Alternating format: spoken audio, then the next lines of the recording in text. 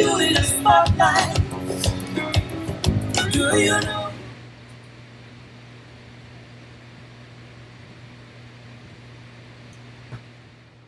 Good evening from New York. I am Selwyn Collins, your host of CWS Journeys.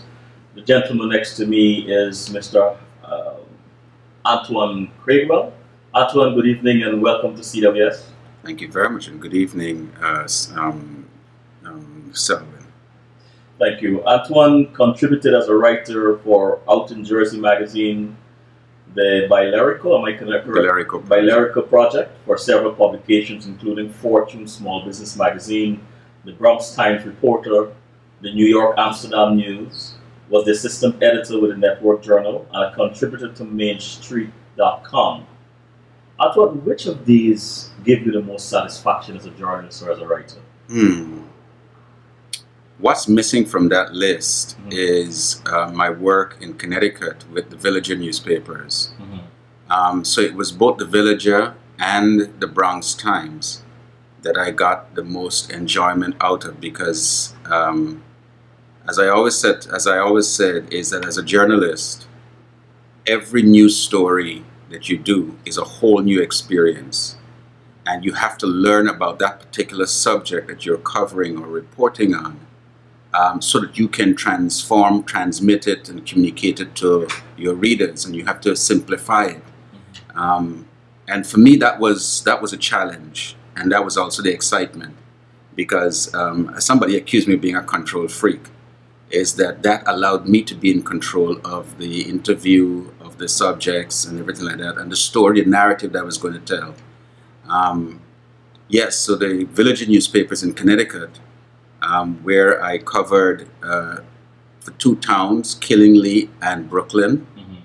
and for the Bronx Times, where I was responsible for um, Central and South Bronx. Um, yeah. Talking about what people say, what is usually accurate when those close to you describe you? Well, some of the comments I've been hearing recently from people who I've not seen in, in several years and over 20 years is that I haven't changed. Um, in terms of my speech and cadence, but also in my expression, in my thought process, and how, how I. One, two, two people who are close to my, close to me. One is a cousin, and another one is a close family friend um, several years ago, they said to me, these are two women, and I, they don't know each other, I don't think. Um, and they both said to me that since I was a child, I'm always somebody who spoke exactly what I, what was on my mind. Um, that sometimes it may seem as though I have no filter. And I, I just talk my mind. I just say what exactly how I feel or what I think. Um, and I, I damn the consequences, which of course I always often got into trouble, and I still do get into trouble for saying the things, you know. Well, well, well you know, you, you grew up in Guyana. Yes. Um, we both know, I'm a Guyanese myself, so we both know what it's like um, having that kind of, a, uh, of an attitude where you just speak your mind and damn the consequence. How did that resonate with your parents, Antoine? And, and I mean, I'm going to talk about, ask you to talk a little bit more about them later on, but how did that demeanor, attitude resonate with them when you were growing up? Well, I would say, and I think a lot of Guyanese can identify with it, and perhaps not just Guyanese, but a lot of uh, West Indian or African um, diasporic peoples can identify with it, is that I had a way that I would just simply blurt out whatever I felt and whatever I thought, um, regardless of where I was. And um, I can remember there were times when um, my mother might have been with her friends and she might have taken me and I was there with them. And somebody might have said something and I would have jumped in and made a comment and I just got a, I just got a, a glance from my mother. Um, the speed at which I would shut up because I know that when I got home, you know, I was going, I was going to get licks. And being that I was very much light, I was really lighter than I am, am now Mhm. as a child. So when I got licks, it showed.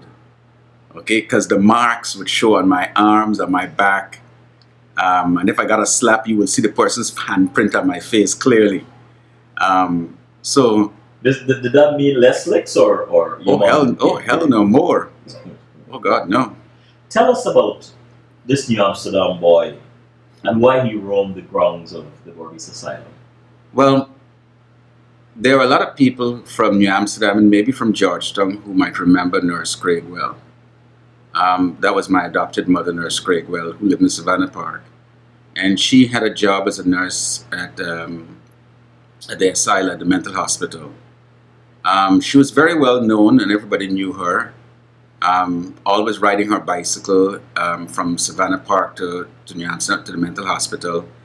Um, and there were times when maybe she might not have had anybody to, take, to look at me, you know, take care of me at home, or she may just decide, well, she want to take me to work. And so she will take me to, if she was working day shift, certainly not night shift. But during the daytime, she would take me, and if it's like holidays or you know, you know, this like like like um, school holidays or you know like this, you know, um, like August holidays and that kind of stuff, she would take me with her to, to work, and while she's in in the ward, I have to run the um, the grounds. Um, she, you know, there were friends of hers who worked in the kitchen. Um, many people in New Amsterdam might remember the story way back um, several several years ago when a pressure cooker, an industrial sized pressure cooker, exploded in New Amsterdam Mental Hospital, ripped through the roof, the, the cover ripped through the roof and came down and killed maybe one or two people Mm. in the kitchen. Um, but not to say that that I was in any danger. Um, I think the even the people at the security gate of the hospital, at the, at the asylum, knew that I was Nurse Craigwell's son. and so they nobody minded, and I would roam and run all over and go wherever I wanted and seeing whatever I could. Um, and when I was hungry, I just go to the kitchen, and those ladies they knew me, and I'd get something to eat, and I'd be all right. How do you think, and I, I, I interpret this as freedom, absolute Oh, it was an incredible amount of freedom. How would you say, in retrospect, that level of freedom at that age, that, that was about what, nine, ten, Oh no no no no! I was about five six. five, six? Yeah, five six seven. Yeah. How would you say that level of freedom helped to mold, shape this man we have come to know, know as Well, it's not- Gregor? Well, it's the but it's the it's the ability to roam. Mhm. It's the ability to wander. It's the ability to discover, to ask questions. Um, and I give you an example. And I was I was talking about this uh, two Fridays ago at um, the public library for Women's of Mission International um, conference. And again, when I spoke at a at a presentation in Linden for some women in Linden, you know, the following Monday, is that I think when I go back to look at it, is that my um, interest in mental health Mhm. goes back to the days when I remember when I was roaming and running around in Berbice, in the madhouse, in the asylum. And I remember distinctly there were several occasions when I saw there were two wooded, wooden penned off areas out in the open. Um, they were extensions of like the building, but it was just like a concrete apron that was fenced off with wood. Um, and I remember several times I would go and peep through the wood to see what was behind there. Um, childish curiosity, of course, but then on both occasions I would see men in separate areas and women in separate areas, and they'd be walking around in this penned off area naked. And it wasn't so much about a child being exposed to or seeing adult genitalia or anything like that. What I was concerned about and what intrigued me the most is why were these people walking around in this area without clothes, exposed to the elements. Well, of course, if it rained, they would go back inside, but in the sun, if it's got too hot, they would also go back inside into the shade. But I wondered what was going on in their minds, what caused them to be walking, what what happened to them.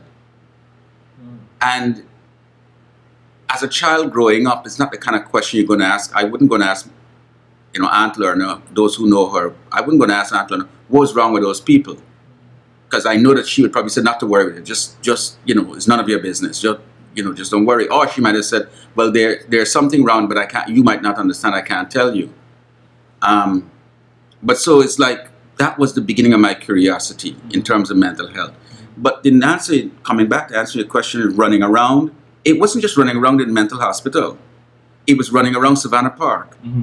It was running around in the ball field before before multilateral was built. Mm-hmm. It was going down the back dam and picking monkey apple and, and you know catching saki winky and and and and um and you know and, and parrots. It was it was going under the um, the bridge that leads to um, the you know the ball field and rolling up fiber in brown paper and smoking that as cigarettes. You know, like the con- the coconut fiber from the bed. So it was it was all these things and running all over the place and just having fun. Did you have a lot of friends? Oh yes, oh yes. Um, I went to teacher mentor in New Amsterdam in, in Savannah Park for kindergarten, and every afternoon at three o'clock she would bring us out. Um, she would walk everybody home, and on the way out we would come across this lady who used to sell salara Mm. in front of Gatey Cinema in New Amsterdam. And she would always she she'd be going out to sell, so the, the salara would be nice and warm, and pine tart and cheese roll. And the ends, the salara ends, is what we everybody used to want the salara ends. So it was a crowd around her clamoring to get a piece of salara. We call it roly poly in those days. But I had a lot of friends in in teacher mentor, and then I went to St. Aloysius Boys School um, in St. John Street, and I went to um, lessons right opposite, um, right opposite St. Aloysius, and then um, Aunt Lorna had me transferred to Scarda Boys School, um, to, um, to Scarda School at the corner of Trinity and Main Street, right opposite Trinity, Trinity Anglican Church, and obliquely across from the Chinese restaurant. So anybody from those days back in New Amsterdam would remember the Chinese restaurant on the upstairs that used to make a wicked, a really nice mixed lau mein and a mixed fried rice that Aunt Lorna would buy for us on a Sunday afternoon when we coming back from All, All Souls Church, um, All Saints Church, out there by Princess Elizabeth Road. Um, but I had a lot of friends. Um, one of my best friends at the time was a young guy, and I only just reconnected with him. He's in Canada. A guy named Rohan Amrao. Mhm. His father and his his family owned a gas station um, there on Water Street. Um, we were such good friends that every day we would fight. Hmm. We would fight every morning, but by lunchtime, he either comes to where I went for lunch or I would go home to his house for lunch. And we would go back to school in the afternoon. And for some reason that we'd get into a fight and then we'd gone again in the afternoon. Um, Nurse Craigwell. Yes, I, I, I noticed your chin between Nurse Craigwell and Aunt Lorna. Same, same person. same person. Um, so, your parents, how, where were they at this time? I mean, how did you end up living with Nurse Craigwell or Aunt Lorna? But let me ask you a different way. At what point did Nurse Craigwell step into your life, from, as far as you can remember? I don't think I can remember when she stepped into my life. Wow. um, because I was uh, adopted at the age of three months. Mm. Um, the circumstances of which I would rather keep within the families that are concerned. My adopted family, which is the Craigwell family, Uh-huh. and my biological family. Right. Um, but it has come so come to be that in the last, in many, as the years roll on, that I become more and more aware of my biological family. Um, but my, in terms of the construct Mm-hmm. of parenting, the construct of motherhood, Mm-hmm. Aunt Lorna, Nurse Craigwell, is my mother Yes. um, because she brought me up, she looked after me, she was there for me all through my life. Um, and when she died in 20, 2006, that was one of the most difficult experiences that I had um, to reconcile that I will no longer see her because what was interesting about our relationship is that I was for many years, up to about 25, 26, her son. Mm-hmm. But as I got older, I became not just a son, but I would say a little more than a friend.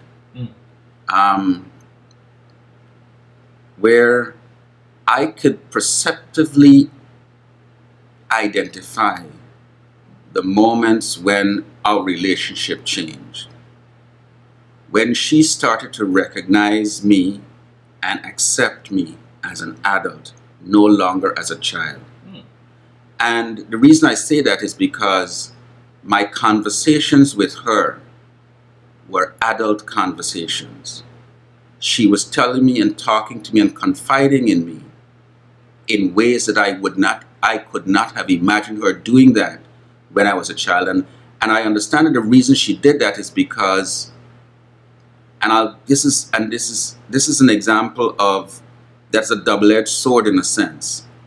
That as I grew up, at varying moments in my life, she would tell me, You don't belong to us, you know. You are adopted. Hmm. And at varying stages in my life, and as I in as I, I, I, you know as I grew, she would remind me of this, but not in a malicious way, not in a way that says that I don't actually belong. And psychologically, that might have some some as there may be some remnant or some effect of that.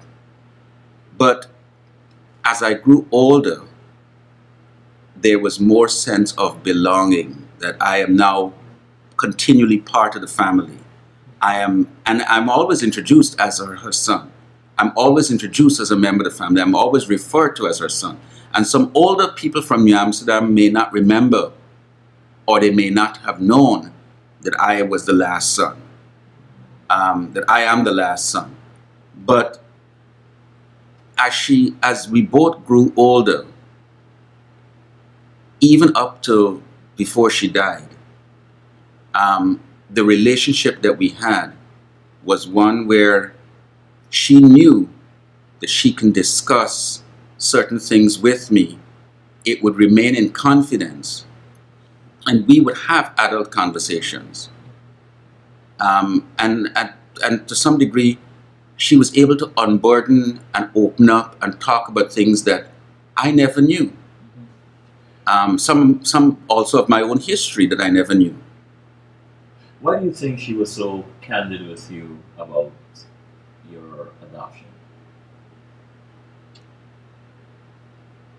One of the things I, re- I can remember her saying to me was that she never intends it for it to be, as I said, malicious, mm-hmm.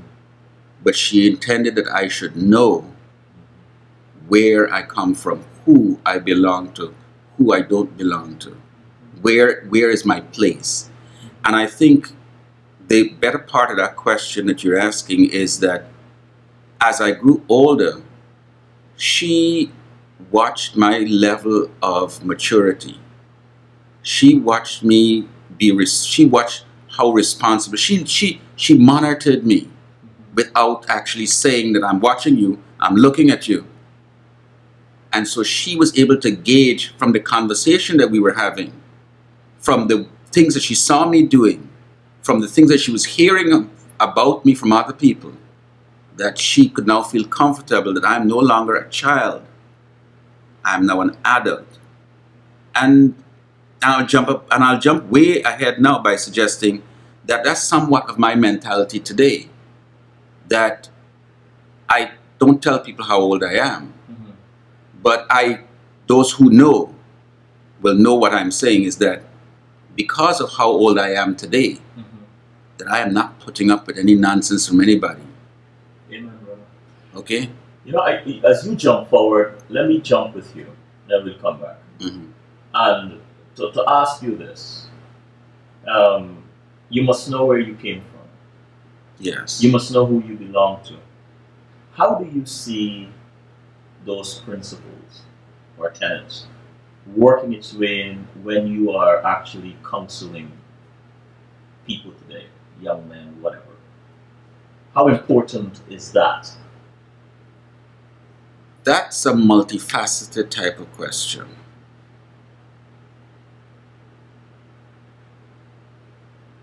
And I will suggest that what has helped me Mm-hmm. to come to terms and understand who I am is bringing the totality of my experiences to bear in any one given moment. And when I talk to people about understanding themselves, I ask them to bring all of themselves. And one of the things that I do when I do presentations and I do talks is I say to people this When was the last time you stood butt ass naked in front of a full length mirror and looked at yourself? And what you see looking back at you is all of the people in your life who has expressed some form of opinion or perception about who you are and what you see looking back at you in that mirror is everybody's perception and acceptance or rejection of you. And it's up to you at that moment, standing in front of that mirror, to decide if you will accept yourself for who you are or you will reject yourself. And that sense of self acceptance Mm-hmm.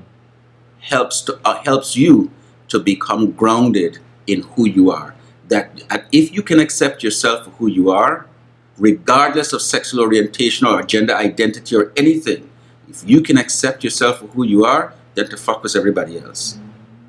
Because nothing else will matter. Because right there at that moment, you are comfortable in knowing who you are. You've accepted who you are, and nothing else matters. Um, we have a mixed audience in terms of Oh, yes. So, but I'm interested in the metaphor you use. I, I, I said I was going to arc back just now, but I'm to follow you. And the metaphor of nakedness is it in bearing the naked truth? Is it in the naked truth or bearing your soul? Why Both. both? Both. And the reason I say nakedness, Okay.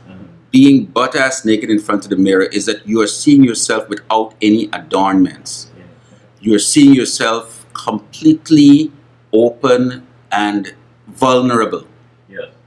You're seeing yourself warts, stretch marks, boils, scars, imperfections, bits of flesh hanging here, whatever, discolorations. Because what you see is also how you compare yourself to others and how you then match your own self as you compare. And when you look at yourself, if you don't accept yourself, then it means you're living somebody else's life. You're living another comparison. I want to go back to Aunt Laura Uh-huh. and how open she was with you at a certain point. You said you recognized the transition. Um, were was it two way? Were you allowed to be equally open? Yes, yes. Uh-huh. And, and do you remember um, the a defining moment in that? There were several. Se- mhm, okay. There were several defining moments. Mhm. Um, there was one moment I remember. Um, I was already living here. I was in New York. She was in Maryland, and I called her up one day and I said, "I have something to tell you, but I'm not going to tell you over the phone." So I went down to Maryland and got there about midnight. By then I could drive. And I went down to Maryland, got up next morning, um, and she was sitting at the, at the kitchen table. Um, my mother always had a habit, she knows that I never like eating by myself. So she would always come and sit with me, but I don't talk while I eat either. So we will sit in silence. This is since back in Guyana. We would sit, she would sit with me in silence until I finish eating and then she'd get up and leave. But I don't like eating by myself. Um, and I had breakfast and so forth, and I said, you know, I told you I want to tell you something. And she said, what is it? And I said, well, I know, and I said to her, I said, I know in Guyanese culture, it is worse if you hear it from somebody else than if you hear it from the person themselves. It has, uh, it has a, a, a much more damaging effect if you hear something from somebody. And I said to her, I said, and I want to tell you about me so that you have an opportunity to be part of my life. Mm-hmm. And I said, this is who, and I told her who I am. And I said, I want you to hear from me so that if something were to happen to me and I'm lying in a hospital bed, you don't hear from somebody else. You're hearing it directly from me. And I told her what who I had become up to that point in my life. And she was like, Well, I may not agree with it, but there's nothing I can say. And she got very quiet and she got up and she went into the bedroom. When it was time for me to leave, she came and she bid me goodbye. She didn't say anything. About two weeks later, she wrote me a letter. And she said, Regardless of who you are, you are still my son, and I love you for who you are. Now, as I've continued to do the work that I do, one of the things that I've consistently heard from many men is their mother's acceptance of them for who they are, the absence of which causes them tremendous psychic pain and cause them to descend into depression and consider suicide because their mothers did not accept them. When my mother said to me I accept you for who you are, you're still my son, and I love you, to me, that was she just gave me a license. She just gave me a license, and I was like, to hell with everybody else. My mother accepts me, my mother's got my back. I don't care about anybody else. And in fact, as I subsequently learned, is that research tells us that if there's a young man, a child, especially a male child, who is accepted by his, his parents for who he is, then that child grows up to be a well adjusted member of, fam- of the family, of society, and of the community. But the minute he hears or gets a sense that his parents do not accept him for who he is, then he was then create alternate means to be able to mask or hide his behavior, who he is.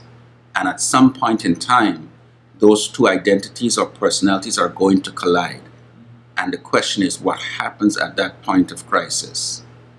I, want to ask you this and take a quick break. But I'm, ask, I'm asking this question for young men who might have might be on that same particular path you've been on, and still battling, especially in the Caribbean, a place like Guyana, um, still battling with the fear of coming out or being accepted and so on.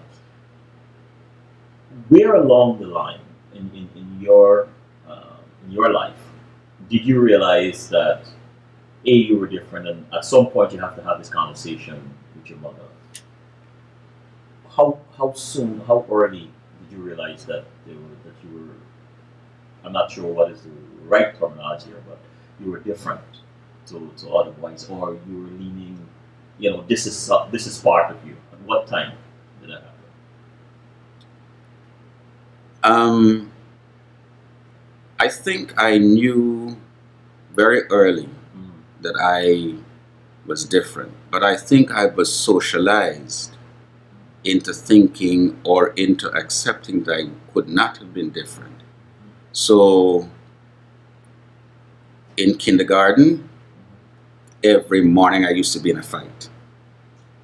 a fight Every day in primary school, in primary school I was in a fight. In secondary school, I used to I was all I used to I used to be the instigator. I used to fight. And when we talk about bullying, I knew about bullying. Okay? Um, but I knew that I was not like everybody else. Um, and when I knew that was when I learned to cook. Um, I have a picture that my sister took of me when I broke, when I was making, frying my first egg. Um, when we lived in South Ruimveldt. And I learned how to cook. I learned how to clean, how to polish, change curtains. My great aunt, who lived at number five village in the west, west, west coast Berbice, she would come to visit, which is my mother's aunt, my mother's aunt. And she taught me to crochet. She taught me to knit. And I looked at my mother when she got some spare time, she used to do huckaback, um, placemats and so forth. Um, and I learned how to do that. I learned how to iron. I learned how to starch. When I was in national service, I learned how to how to um, make starch from cassava and starch my clothes, starch my uniform. Um, I learned how to make coconut oil. I learned, you know. So, and a lot of the guys of my age group weren't doing these kind of things. Mm. Um, I remember that I lived in South Ruimveldt and the next door neighbor, they had an open stretch. And almost every afternoon after school or work, they'd be playing cricket. Um, and on Sundays and Saturdays, they'd be playing cricket and a, and a serious cricket game too. But I was always inside. I couldn't. I was not really allowed to go outside. Um, and when I went outside, I couldn't wear. I couldn't go walking barefoot. I always had a pair of slippers on. Um, and one of the things I also noticed that when when I was outside with my friends or anywhere hanging out, the type of vernacular I would use, the Guyanese Creole, I couldn't use that inside. So I had to speak a different, I had to speak proper English inside. Not, I, can't, I couldn't bring the Creole inside. Um, when I asked, and I heard a word or I saw a word, I would say, well, what does that word mean? I was, I was directed straight because the house had a library. I was directed to the library. Um, so I would say that I had maybe five, five main books. The Bible, the dictionary, Roger, and Roget's Thesaurus are three of those. Mm. Those were my best friends. Um, and the World Atlas. Let's take a quick